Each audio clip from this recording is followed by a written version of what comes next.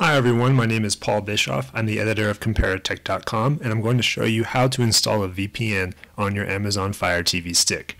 A VPN can be used to unblock regionally restricted content and streaming services. And in this example, I'm going to be unblocking Vikings in Amazon Prime US. Uh, my current location is in the UK and Vikings is not available in this location as you can see on the screen.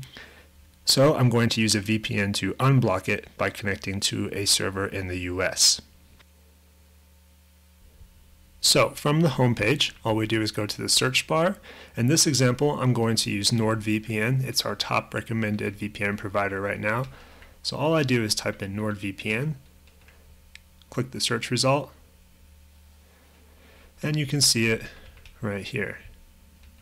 When we select that search result, we come to the app page. All we do is click the button in the middle of your controller once again to get the app and wait a few moments for it to install.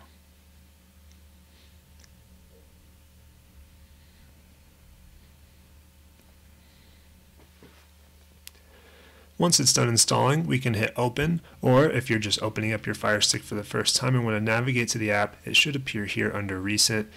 If not, check the app section here at the top and it should show up in here. For now, let's go back to home, click on NordVPN from the recent list, and the app will load. Once the app is loaded, you'll be prompted to either sign up or log in. I already have a NordVPN account, so I'm just going to go to login and enter my information and hit login. Once you're in the VPN app, you can just go down to the list of countries, scroll all the way over to the United States, and click the center button to connect. After a few moments, that little symbol will turn green indicating the connection has been established and you're ready to go. The VPN will stay running in the background so we can go back to our home page, go back to Prime Video, and just go back once, then back forward again, and you'll see the episode is now available to watch.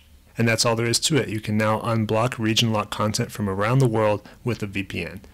Once again, my name is Paul Bischoff from Comparitech.com. Happy streaming.